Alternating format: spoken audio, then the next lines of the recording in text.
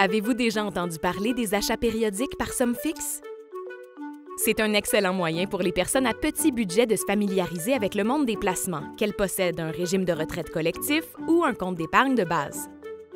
Cette stratégie simple permet de réduire les risques liés au placement et de faire fructifier votre argent.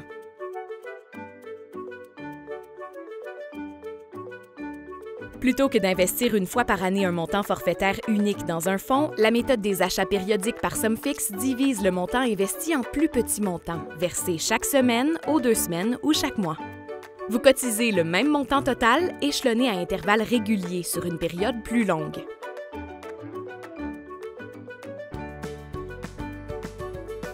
Lorsque le prix des parts du fonds augmente ou diminue, votre cotisation reste la même.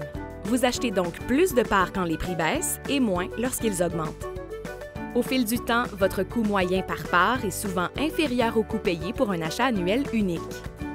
Au bout du compte, vous possédez un plus grand nombre de parts sans avoir investi plus d'argent. Il vous suffit d'établir des cotisations régulières sur votre paye et le tour est joué. Les achats périodiques par somme fixe font jouer le temps en votre faveur.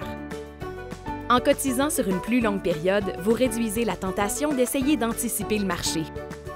Une stratégie risquée, même pour les professionnels de la finance les plus aguerris. Plus vous épargnez tôt, plus vos placements ont le temps de fructifier. Contactez votre employeur ou votre promoteur de régime pour adhérer au régime d'épargne retraite collective et tirer des profits des achats périodiques par somme fixe.